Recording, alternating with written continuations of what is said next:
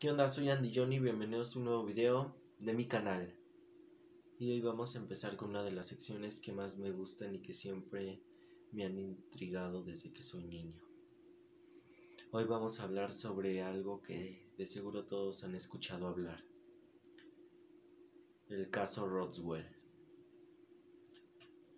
Ocurrió un 2 de julio de 1947 en Nuevo México. Pero ¿qué es lo más extraño de este suceso? Te lo diré en Teorías Conspirativas. Se volvió muy popular al pasar los años cuando un objeto desconocido se estrelló y el gobierno de los Estados Unidos declaró que fue un globo meteorológico.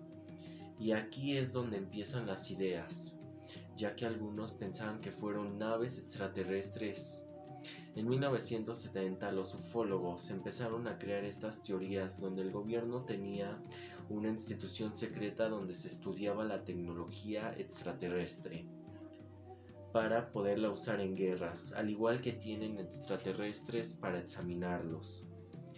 El gobierno dio a conocer un documento, el Proyecto Mogul, una iniciativa para examinar la actividad nuclear de la Unión Soviética la Fuerza Aérea dijo que cambiaron su aspecto para que pareciera un globo meteorológico.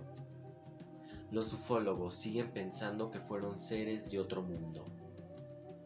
Hay otra hipótesis más aterradora. Se trataba de prisioneros de guerra japoneses usados para experimentos y ocultar nueva tecnología y la última es que estaban haciendo un proyecto diferente que no querían que se supiera. Pero ahora dime tú, ¿Qué es lo que piensas de este caso? Lo más intrigante que ha pasado es que en realidad no se sabe muy bien lo que pasó.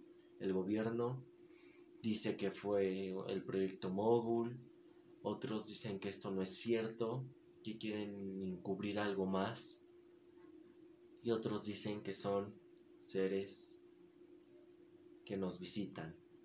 Pero ahora díganme ustedes qué piensan de este. ¿Ustedes qué opinan? Yo pienso que si fueron otras, otros seres de otro mundo.